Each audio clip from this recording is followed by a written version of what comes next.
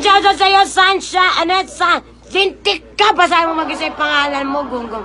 San, Sanya Laparan. Ah, di ba? Ah, di ba dahil kukunin kita nina ng anak ko? Tinangin mo, akala mo sa akin mayaman. Ano. Si, ay, ah, vlogger ba yun? Ano? Si Sanya Laparan. Laparan siya? Hindi ko alam. Sorry, binabawi ko yung mura ko.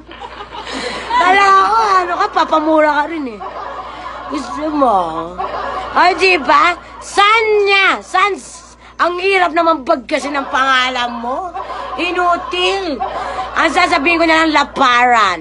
Ayan, Laparan. Shout out sa iyo. Welcome to my world.